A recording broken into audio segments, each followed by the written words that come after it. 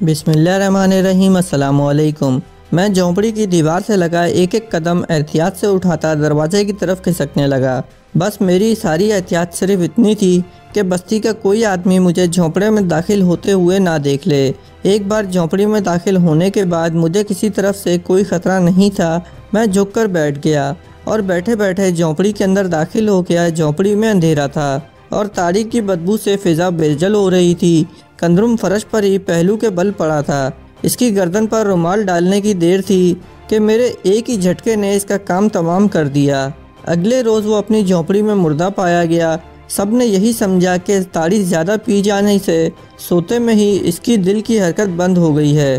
किसी ने कंदरुम के बारे में कोई अफसोस ना किया, क्योंकि इसने सारी बस्ती का नाक में दम कर रखा था। दादा रमिया बहुत खुश था कि इसकी बेटी का दुश्मन ख़त्म हो गया। मेरे लिए ये ऐसी ही बात थी जैसे मेरे रास्ते में केले का छिलका पड़ा था, जिसे मैंने पाँव से सिर्फ़ एक तरफ़ हटा दिया। एक महीना गुजर गया, लेकिन मुझे कोई कामयाबी ना हुई। अभी तक सोनिया के सिलसिले में मुझे मामूली सी कामयाबी भी नहीं हुई थी। इस दौर इफ्तदा, खुफिया इसराइली कम्प्लेक्स में एक कुशादा स्टोर भी था, जहाँ से खाने पीने और रोज़मर्रा इस्तेमाल की दूसरी अशिया मिल जाती थीं। एक शाम बरसाम की यहूदी बीवी ने मुझे साथ लिया और स्टोर में सौदा सलफ खरीदने आ गई। यहाँ इसकी मुलाकात एक यहूदी मेजर की बीवी से हुई। दोनों आपस में अबरानी ज़बान में बातें करने लगीं। वो बड़ी आज़ादी से एक दूसरों के खावंदों के बारे में बातें कर रही थीं, क्योंकि इन्हें यकीन था कि मैं इनकी ज़बान बिल्कुल नहीं जानता। वो अपने अपने खावंदों की अयाशी की दास्तानें बयान करके एक दूसरे से इनका सदबाब करने की तरकीबें पूछ रही थी। मेजर की यहूदी बीवी ने कहा मैंने तो अपने खावन को अल्टीमेटम दे दिया है कि अब अगर तुम शराब पीकर जेल की तरफ़ गए तो मैं तुम्हें गोली मार दूँगी। मेरी साहब की बीवी ने ताज्जुब से पूछा, तुम्हारा खावन शराब पीकर जेल किस लिए जाता है? मेजर की यहूदी बीवी ने नाक सिकोड़ कर कहा हाँ यह रोशलम की एक लीडर औरत उम्र कैद काट रही है। ये इससे मिलने जाता है, वो बड़ी बदमाश औरत है। मैंने सुना है कि एक बार जेल के वार्डन से मिलकर यहाँ से फरार होने की कोशिश भी कर चुकी है। बरसाम की बेगम बोली, बहन मेरा खावन, शराब ज़रूर पीता है, मगर जेल वाली औरतों के पास नहीं जाता। हालाँकि एक दिन वो किसी खूबसूरत नौजवान कैदी औरत का ज़िक्र भी कर रहा था, जो शायद कोई पाकिस्तानी है। यहूदी मेजर की बीवी बोली, मैं तो कहती हूँ, हमें जेल की औरतों को मार डालना चाहिए। क्या करें छः माह के लिए तो हम यहाँ आती हैं। हमारे पीछे ना जाने ये मर्द क्या क्या गुलगुलाते हैं। यहूदी मेजर की बीवी का बच्चा इसे खींच रहा था। वो खुदा हाफिज कहकर किचन वेयर वाले डिपार्टमेंट में चली गई। इस औरत की ज़बानी मुझे सिर्फ़ इतना ही मालूम हो सका था कि सोनिया इसी जजीरे के जेल में कैद थी। वो जिस पाकिस्तानी लड़की के बारे में बात कर रही थी, वो सोनिया के सिवा और कोई नहीं हो सकती थी। बंगले पर आकर मैं किचन में दोपहर का खाना तैयार करने लगा। बरसाम की बीवी यानी मेरी मालकिन अपने कमरे में सोफे में धसी सेब खाते हुए कोई इसराइली फ़ैशन मैगजीन पढ़ने लगी। मैं इसे काफ़ी देने इसके एयर कंडीशन कमरे में गया तो वो सोफे पर टांगे फैलाए रिसाला पढ़ रही थी। आधा खेप सेब खाया, इसकी बाएँ हाथ में था। मैंने काफ़ी खामोशी से मेज़ पर रख दी, खिड़की का पर्दा हटाया हुआ था और दिन की रोशनी अंदर आ रही थी। कमरे में ठंडक के साथ साथ बड़ी खुशगवार खुशबू फैली हुई थी। मैं जाने लगा तो यहूदी ने आवाज़ दी। फाड़ीकर, अलमारी से मेरा सिगरेट केस पकड़ा दो। ये लोग मुझे फाड़ीकर के बजाय डीकर कहकर पुकारते थे। मैंने सिल्वर का सिगरेट केस अलमारी से निकालकर बेगम को दिया और इसका हाथ देखकर कहा, मैडम, आपके हाथ की लकीरें बड़ी वंडरफुल हैं। इस किस्म की बातें औरतों की बड़ी कमज़ोरी होती हैं, चाहे वो किसी मुल्क से ही क्यों ना ताल्लुक़ रखती हों। ऐसा मैंने जानबूझकर किया था। इस भारी बरकम यहूदी औरत के फीके नीले डेले मुझे तकने लगे। अरे डेकर, क्या तुम हाथ का इलम जानता है? मैंने कहा, यस, मैडम। मैंने एक इंडियन जॉगी से ये थोड़ा थोड़ा सीखा था। यहूदी बेगम ने अपना हाथ मेरे आगे फैला दिया। तो फिर बताओ, हमारी किस्मत में क्या लिखा है? मैंने बेगम का हाथ थाम लिया और इसके हाथों की आम किस्म की उलझी उलझी सी लकीरों को गौर से देखने लगा। जिनके खतूत और जावियों को मैं बिल्कुल नहीं समझता था, मगर मैं इन्हें इस तरह गौर से नहीं देख रहा था जैसे एक एक लकीर से वाकिफ़ हूँ दो तीन बार मैंने इस सर को अस्पात में हिलाकर एक बार नफ़ी में हिलाया तो बेगम बोली, टेकर, कुछ मुझे भी बताओ, मेरी किस्मत में क्या लिखा है? क्या हमारे कोई औलाद होगी? मेरे लकीरों पर झुका गया और मुस्कुराते हुए बोला, मैडम, यहाँ आपके यहाँ दो लड़कों की पैदाइश लिखी है। यहूदी औरत खुशी से तकरीबन चिल्लाते हुए बोली डेकर तुम मज़ाक तो नहीं कर रहा। मैंने कहा, नहीं मैडम, वो खूबसूरत बच्चों को तो मैं आपकी तदेली में साफ़ साफ़ देख रहा हूँ, मगर ये तीन बरस के बाद होंगे। वो मुँह लटकाए हुए बोली, फिर तो हम बूढ़ा हो गया होगा, बच्चा कैसे होगा? मैंने कहा, मैडम, ये भगवान की देन है। मेरी बात लिख लें आप, कि हाँ अगले तीन साल में दो बच्चे होंगे, हम भी यहाँ हैं, आप भी यहाँ हैं। फिर हम आपसे बड़ा इनाम लेगा। यहूदी मैडम ने खुश होकर कहा, हम तुम्हें पचास रुपया इनाम देगा और बताओ, हमारी किस्मत में दौलत भी लिखा है। यहूदी लोगों को मैंने बहुत कंजूस पाया था, वो पाई पाई के लिए लंबी बहसें करते थे। दौलत से ज़्यादा इन्हें शायद ही किसी शय से प्यार हो। चुनाचे जब मैंने इस यहूदी औरत को झूठ मूठ ये खबर दी कि अगले बरस इसकी लॉटरी निकल आएगी तो वो इतनी खुश हुई कि सोफे पर से उछल कर मेरे करीब कालीन पर आकर बैठ गई मुझे मालूम था कि यहाँ हर यहूदी अफसर ने लॉटरी के टिकट खरीद रखे हैं, जो हर साल तिल अबीब में निकला करती थी। इसने कहा, मैंने दस डॉलर की लॉटरी के साथ टिकट खरीद रखे हैं। मेरी लॉटरी ज़रूर निकल आएगी ना? फिर से हाथ की लकीरें देखो। मैं जानता था कि वहाँ दो एक माह से ज़्यादा नहीं रह सकता। कम अज़ कम एक बरस तक वहाँ रहने का तो सवाल ही पैदा नहीं होता था। चुनाचे मैंने इसकी उभरी हुई हथेली की एक लकीर पर उंगली रख दी। और ये कहा, मैडम ये है आपकी लॉटरी की लकीर। देखें कितनी साफ़ नज़र आ रही है। मैडम की तो खुशी का कोई ठिकाना ही नहीं था। मैं सोचने लगा कि अगर इत्तेफाक से इसकी दस डॉलर की लॉटरी निकल आई तो इसका क्या हाल होगा? अब मैं अपने मतलब की तरफ़ आने लगा। मैंने इसके हाथ की लकीरों को इधर उधर से देखा, फिर दूसरे हाथ को देखने लगा। अब मैंने सर को फिक्रमंदाना अंदाज में नफ़ी में हिलाया तो बोली, क्यों, क्या बात है, डेकर? तुमको क्या नज़र आया? हमारे इस हाथ में। मैंने कहा, मैडम, अगर आप साहब को ना बताएँ तो मैं अर्ज़ कर दूँगा। पहले वादा करें। यहूदी औरत एकदम संजीदा हो गई। बोली डेकर मैं जानती हूँ। इंडियन लोग बड़े ज़बरदस्त किस्मत का हाल बताने वाले होते हैं। हम तुमसे वादा करता है कि तुम्हारे साहब को हम कुछ नहीं बताएगा।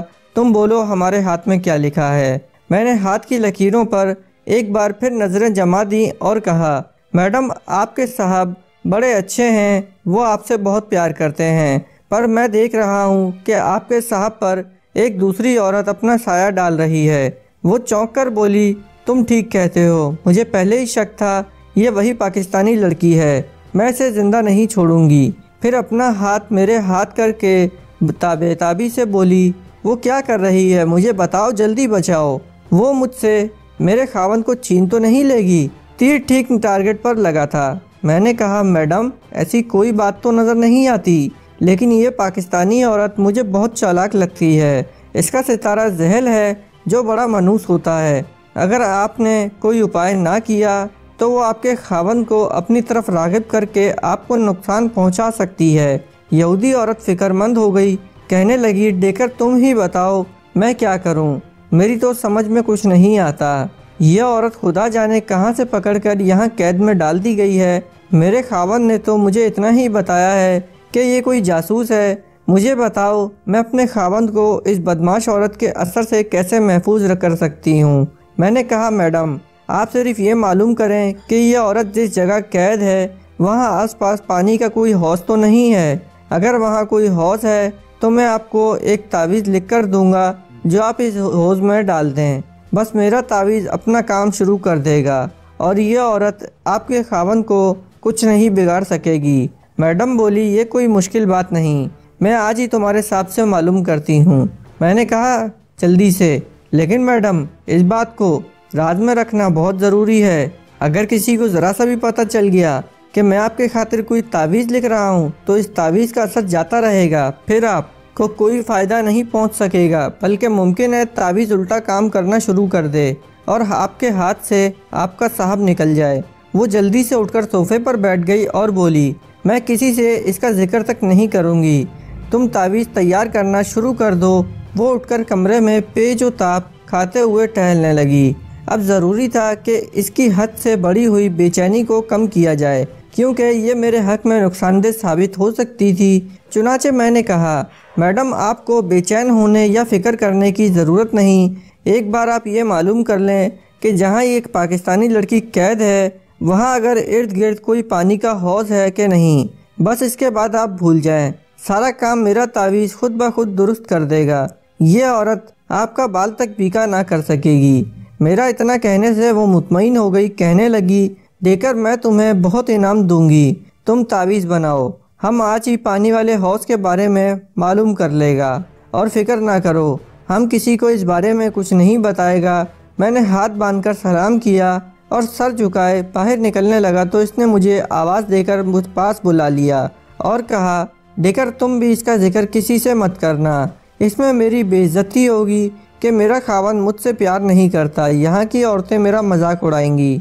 मैंने कहा, मैडम, मैं तो आपका नौकर हूँ। मैं किसी से बात कर सकता हूँ। आप इतमान से रहें। आपका राज मेरे दिल में महफूज रहेगा।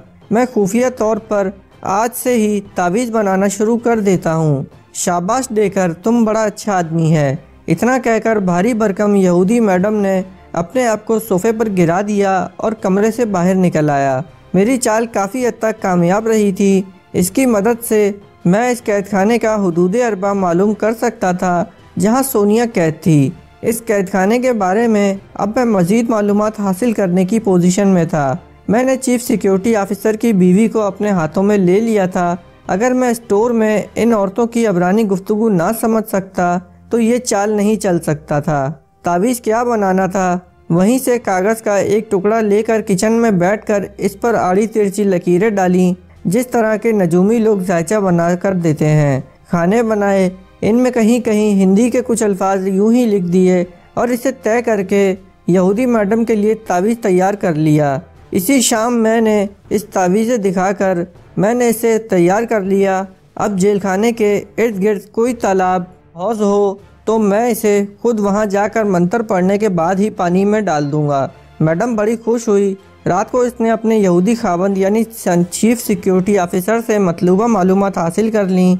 सुबह मैं काम पर आया तो जब यहूदी बरसाम साहब दफ्तर चले गए तो मैडम ने मुझे अपने कमरे में बैठकर कहा, देकर मैंने तुम्हारे साहब से जो कुछ मालूम किया है, इसके मुताबिक जेल के इर्द गिर्द कोई हौज नहीं है। हाँ जेल के पीछे एक छोटा सा मसनू तालाब बनाकर वहाँ पानी जमा किया गया है।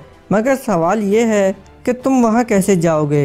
वहाँ कोई मुलाजिम नहीं जा सकता।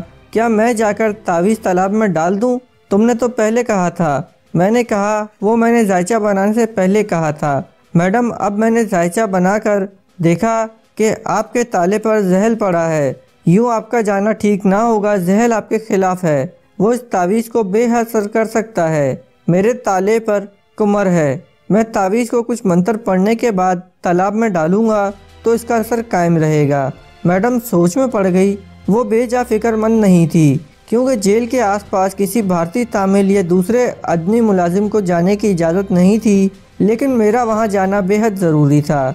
इस जमन में मैं इस यहूदी औरत को हर हालत में ब्लैकमेल करना चाहता था। मैंने खुद इसे एक तजवीज़ पेश कर दिए मैडम, क्या ऐसा नहीं हो सकता कि मैं कोई भेस बदल कर रात की तारीकी में तालाब तक जाऊँ और ये तावीज़ तालाब में डालकर वापस आ जाऊँ? मामला उलझ गया था। मुझे कोई वाज रास्ता दिखाई नहीं दे रहा था। मैडम ने कहा, वो इस मसले पर मज़ीद गौर करेगी। वो मुझसे ज़्यादा परेशान थी। मैंने इसे परेशान कर दिया था। इस रोज़ मैं बंगले की सफ़ाई पर मामूर, एक बूढ़ी तामिल औरत से देर तक बातें करता रहा। वो कोचैन की रहने वाली थी और अपने जराइम पेशा खावन के साथ कोचैन से फरार होकर सात बरस पहले इस इसराइली जजीरे में आ गई थी। बातों ही बातों में मुझे मालूम हुआ कि जेल कैंप के बाहर जनूब की जानब एक ट्रेस डिस्पोजिबल है, जहाँ एक भारतीय तामिल शाम को थोड़ी देर के लिए सफ़ाई की खातिर जाता है ये मालूम मेरे काम आ सकती थी दूसरे दिन मैंने दोपहर को मैडम से राजदारी में कहा कि जेल कैंप के ट्रेस डिस्पोजल में जो तामिल खाकरूब का काम करता है, अगर इसकी जगह एक शाम मैं लगा दिया जाऊँ तो मैं तावीज़ के तालाब में डालने का फरीजा अंजाम दे सकता हूँ। मैडम की आँखों में भी उम्मीद की किरण चमकी फिर कुछ ना उम्मीदी से कहने लगी, तुम हमारे खानसामा हो। साहब तुम्हें टेस्ट डिस्पोजल नहीं भेजेगा। मैंने कहा, फिर मैं कुछ नहीं कर सकता, मैडम। ये आपके मुस्तकबिल का सवाल है। आप जाने, आपका काम जाने। ये कहकर मैं बाहर जाने लगा तो मैडम उठकर मेरे करीब आ गई और बोली, ठहरो ठहरो। मैं मैं कुछ ना कुछ करूँगी। तुम आज का दिन इंतज़ार करो। रात को इस यहूदी औरत ने ना जाने अपने खावन से क्या बात की। कि दूसरे दिन चीफ सिक्योरिटी ऑफिसर बरसाम साहब ने मुझे नाश्ता लगाते देखा तो कहा, डेकर, हमारे जेल कैंप के ट्रेस डिस्पोजल पर काम ठीक तरीके से नहीं हो रहा। हमारी बेगम को इधर आसपास रहने से वाले बंगले की खातन ने शिकायत की है कि वहाँ कूड़ा क्रिकेट बिखरा रहता है। मैं चाहता हूँ, तुम शाम को थोड़ी देर के लिए वहाँ जाकर काम की निगरानी करो। मैं औरत का तरिया चतर कायल हो गया, मुझे और क्या करना चाहिए था? साहब के हुक्म के आगे सर तस्लीम खम कर दिया। बरसाम ने कहा कि वो ट्रस्ट डिस्पोजल में मेरी निगरानी के आर्डर इशू कर देंगे। इन्होंने एक चिट पर इबरानी जबान में इजाज़तनामा, मुआ अपने दस्तखत लिख कर दिया। शाम को मैं बंगले से ही कैंप में जेल की तरफ़ रवाना हो गया तो मैडम ने फिक्रमंद होकर कहा डेकर तावीज़ आज ही तालाब में डाल देना। और हाँ मंत्र ज़रूर पढ़ना इस पर। साहब पर इस लड़की का साया हट गया तो मैं तुम्हें बहुत इनाम दूँगी। दोस्तों, अगर वीडियो पसंद आई हो तो वीडियो को लाइक, शेयर, कमेंट ज़रूर करें। आपका वीडियो को लाइक, शेयर, कमेंट करने से कुछ नहीं जाएगा, लेकिन हमारी हौसला अफजाई होती रहेगी। और साथ ही साथ हमारे दूसरे चैनल्स को भी सपोर्ट करें, जिनके लिंक डिस्क्रिप्शन में मौजूद हैं। मिलते हैं इंशाल्लाह नेक्स्ट वीडियो में। जब तक के लिए अल्लाह हाफिज़।